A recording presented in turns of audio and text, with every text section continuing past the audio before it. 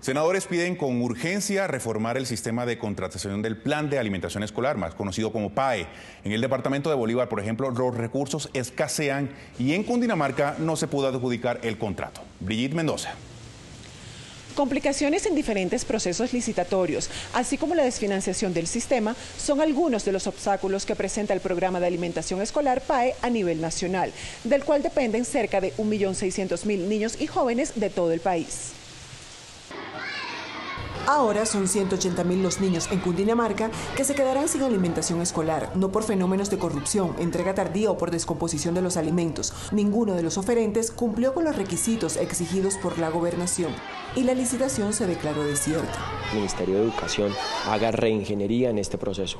Los gobernadores hemos dicho que queremos entregarle el PAE al gobierno nacional. Eso fue una papa caliente que nos enviaron, que tiene toda la complejidad jurídica en los procesos de adjudicación. En el proceso de licitación participó una de las firmas implicadas en el escándalo por la compra de pechugas a 40 mil pesos. Meses después de los hallazgos de la Contraloría y la Fiscalía, no se ha reformado el sistema de contratación del PAE. Requerimos ya que los órganos de control, Fiscalía, Procuraduría y Contraloría intervenga en este programa. Rechazo también la decisión que tomó el ICBF de subir apenas 131 pesos la ración para la alimentación diaria de más de 1.600.000 niños. 2.800 pesos no es suficiente para nutrir y garantizarle un pleno desarrollo a nuestra niñez.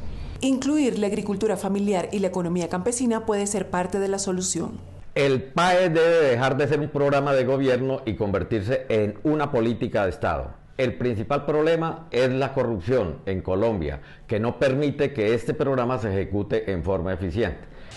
Finalmente, la situación en Bolívar no dista de lo que ocurre en el centro de Colombia. La Asamblea Departamental anunció falta de recursos para los próximos meses. Brigitte, muchísimas gracias por su completa información.